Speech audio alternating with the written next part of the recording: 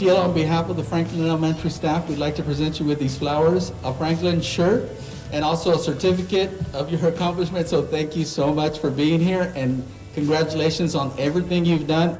I'm so thankful. This event was so beautiful. It made me very emotional. I thought I was gonna cry back there.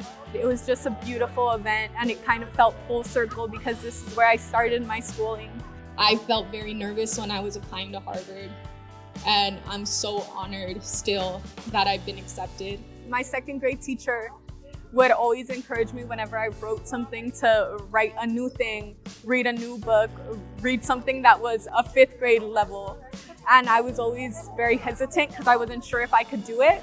And she'd always be like, no, you can do it. But just her encouragement, I remember that so clearly. She would write about random subjects and leave a full essay on fifth grade lines on my second grade teacher desk.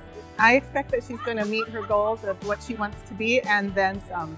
When we see our students taking the next step of your journey, we're so very proud. You are an example to all of these children here of where we can go with hard work. I feel really honored, actually. I grew up with my, my oldest sister being my role model because she was the first in my family to go to college. And if I can do that for anybody else, then it's an honor for me. I can definitely say that I know that every student is capable of doing it. I'll take that role and I take it with a lot of humility. I'm so proud to be educated from Santa Ana schools and I think it's just another example of the support that I've been given.